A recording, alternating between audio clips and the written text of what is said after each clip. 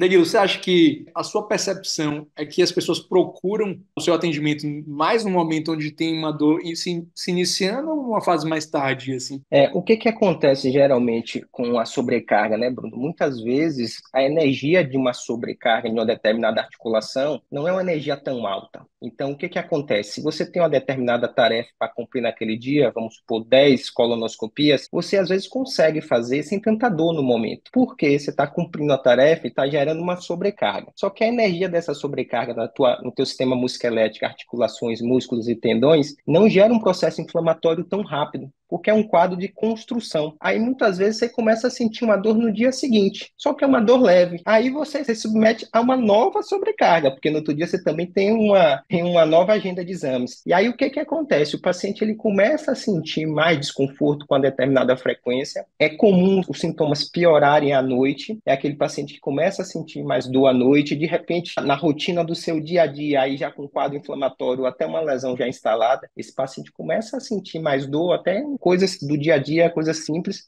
ou seja, você teve um start ali por sobre uma sobrecarga mecânica e aí gerou um quadro inflamatório que por sua vez virou uma lesão e de repente ele tem dor agora a simples coisas do dia a dia.